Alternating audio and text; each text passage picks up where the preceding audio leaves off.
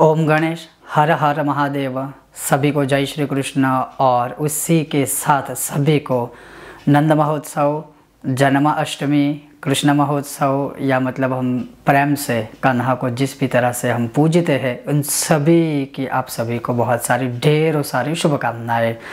अब इस बार बहुत सारा कन्फ्यूज़न संदेह, शंकाएँ हैं और इस विषय पर बहुत लोगों ने हमें मैसेज ईमेल किए हैं कि जन्माष्टमी कब है, उस विषय पर मैं वीडियो बना हूँ और इस प्रकार से मैंने मतलब सरलीकरण से वीडियो पूरा बनाया है। सभी प्रकार के पंचांग हो, मुहूर्त आदि ग्रंथ है, सभी का अभ्यास करके, सभी का संशोधन करके और स्वयं निजी तौर से भी सारे स्थिति आदि देख कर फिर आज मैंने ये जो कंक्लूज़न निकाला है शास्त्रों के अनुसार, वो आज मैं स्पष्ट रूप से सभी आपके मन के संदेह का समाधान करने की कोशिश करूँगा। जैसे, जन्माष्टमी कब है?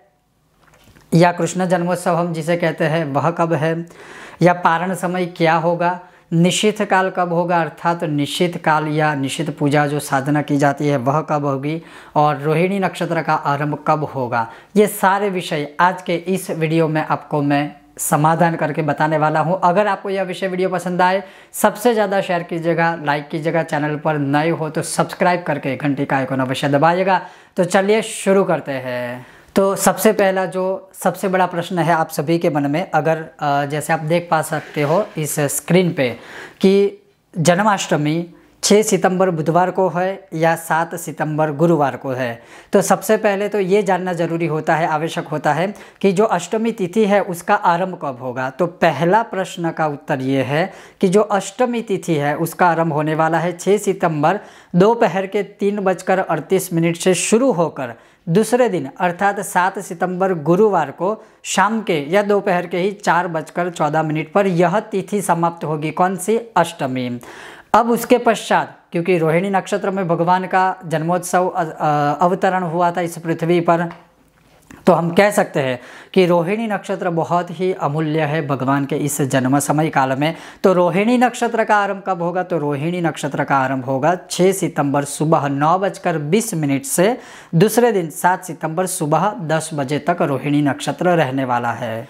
अब एक और प्रश्न कि निश्चित काल कब होगा? ये बहुत ही उत्तम समय और बहुत ही महत्वपूर्ण समय होता है। तो निश्चित काल का जो समय है, वो रात के बारह बजकर तेरह मिनट से आरंभ होकर एक बजे तक रहेगा। हम रात शब्द इसलिए मैं प्रयोग कर रहा हूँ क्योंकि ये मध्य रात, मध्य रात्रि है। हम इसे सुबह भी कह सकते हैं, सात सितंबर की। लेकिन फिर भी मैं कहूँगा कि छः सितंबर की रात्रि काल के बारह बजकर तेरह मिनट से आरंभ करके एक बजे तक निश्चित काल रहेगा, क्योंकि हम तिथि को पूछते हैं, तारीख के अनुसार नहीं, इसलिए मैं रात्रि काल का शब्द का प्रयोग कर रहा हूँ। तो जो निश्चित काल पूजा या साधना का समय इस वर्ष है, वो केवल 46 मिनट का अर्थात 46 मिनट का रहने वाला है। अब उसके बाद जो एक और प्रश्न है कि पारण कब करना होगा तो पारण का समय सुबह छः बजकर चौदह मिनट सात सितंबर गुरुवार को ही होगा, उस समय से आरंभ होगा। तो आप शाम तक यह कर सकते हो, तिथि के अनुसार अनुसार कोई दिक्कत नहीं है। अगर अगेन मैं आपको इसी चीज़ को बहुत ही सरलता से अगर मैं कहूँ या सुनाऊँ तो वो कैसे है, वो सुनिए। तो जो अष्टमी तिथि है, उसका आरंभ होगा 6 सितंबर दोपहर के तीन बजकर अड़तीस मिनट से शुरू होकर दूसरे दिन गुरुवार 7 सितंबर चार बजकर चौदह मिनट दोपहर के अष्टमी तिथि हुई। रोहिणी नक्षत्र का आरंभ होगा छः बज छः सितंबर छः सितंबर सुबह नौ बजकर बीस मिनट से शुरू होकर सात सितंबर दस बजे सुबह पूर्ण होगा। तो जो कृष्ण नंदोत्सव है, कृष्ण जन्मोत्सव या कृष्ण जन्माष्टमी जो अष्टमी तिथि है, वो रात्रि काल के, जैसे मैंने कहा कि जो रात्रि काल का समय है, बारह बजकर तेरह मिनट से आरंभ करके एक बजे तक होगा और उसी में यह रोहिणी नक्षत्र का भी समावेश हो जाता है। तो इस समय पर निश्चित काल की पूजा या साधना आदि हमें करनी चाहिए। और उसी प्रकार से सुबह सात सितंबर छः बजकर चौदह मिनट से आरंभ करके पारण आप कर सकते हो। तो कहने का तात्पर्य है कि तारीख के अनुसार अगर हम देखें तो जो कृष्ण जन्मोत्सव होगा, वो सात सितंबर होगा। और तिथि के अनुसार अगर हम देखें तो छः सितंबर बुधवार की रात्रि काल के बारह बज से, बारह बजकर तेरह मिनट से या बारह बजे से भगवान का जन्म हम उत्सव मना सकते हैं, कृष्ण जन्मोत्सव मना सकते हैं। तो कहने का तात्पर्य है, कोई कन्फ्यूज़ मत होइए। सीधा और सरल यही चीज़ है कि एक अष्टमी तिथि का आरंभ और अंत देखा जाता है। रोहिणी नक्षत्र का आरंभ और अंत देखा जाता है। उसके अलावा निश्चित काल का जो पूजा का समय होता है, आरंभ और अंत देखा जाता है, उसी प्रकार से पारण का समय जो होता है, वह देखा जाता है। वो और वो सारा मैंने आपके सामने प्रस्तुत किया है। सभी पंचांगों का तारण निकाल के, सभी प्रकार के मूर्त ग्रंथों का हमने अभ्यास करके आपके सामने यह प्रस्तुत किया है।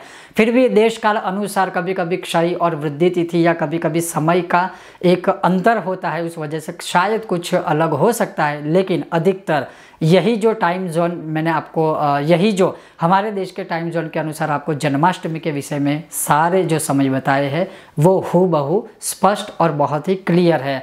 तो ये था बहुत ही महत्वपूर्ण विषय और वीडियो फिर भी इस विषय में आपको कोई संदेह है, अधिकतर मुझे कमेंट का उत्तर देने के लिए थोड़ा समय कम रहता है तो मैं कम देता हूँ, लेकिन फिर भी मैं आपको अवश्य ये निश्चय करता हूँ कि इस विषय में कोई संदेह, शंका अगर है आप कमेंट बॉक्स में कमेंट कीजिएगा। अवश्य मैं उचित उत्तर आपको देने का प्रयत्न करूँगा। ये था आज का विषय और वीडियो। लेकिन हाँ अवश्य आने वाले इसी विषय के ऊपर वीडियो देखना मत भूलिएगा, क्योंकि कालरात्रि, महारात्रि, मोहरात्रि से दारुणा मोहरात्रि अर्थात जन्माष्टमी की रात्रि साधना के लिए बहुत ही श्रेष्ठ, उच्चतम और उत्तम यह रात्रि मानी गई है। बहुत ही जल्द उस विषय पर भी मैं वीडियो बनाऊँगा। देखते रहिए कर्मकांड बाय आनंद पाठक। ओम गणेश। हर हर महादेव और एक बार फिर से आप सभी को मेरी ओर से जन्माष्टमी की, कृष्ण जन्मोत्सव की बहुत बहुत शुभकामनाएँ। जय श्री कृष्ण।